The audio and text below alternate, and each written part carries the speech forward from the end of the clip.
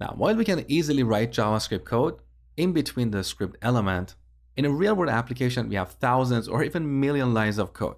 We don't want to write all that code in line here. We want to extract and separate our JavaScript code from our HTML code. Let me give you a metaphor. Think of your house.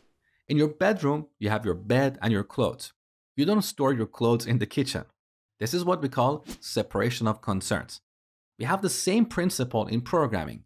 So we want to separate HTML, which is all about content, from JavaScript, which is all about behavior. How should your web page behave? What should happen when we hover our mouse over a given element? Maybe something should pop up, maybe something should be hidden. So we use JavaScript to implement behavior.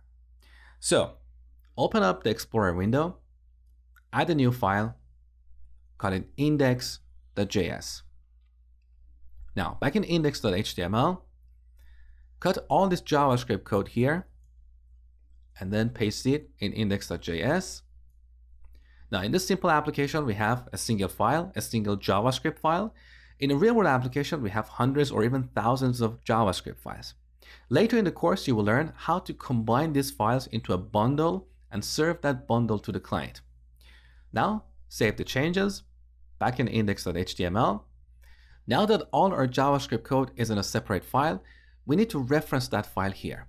So let's add an attribute here, src, which is short for source, and set it to index.js. So this tells the browser that our JavaScript code is now in index.js. Save the changes back in the browser. You can still see the hello world message, and that confirms that our code is still working. In the next lecture, we're going to execute this code in Node.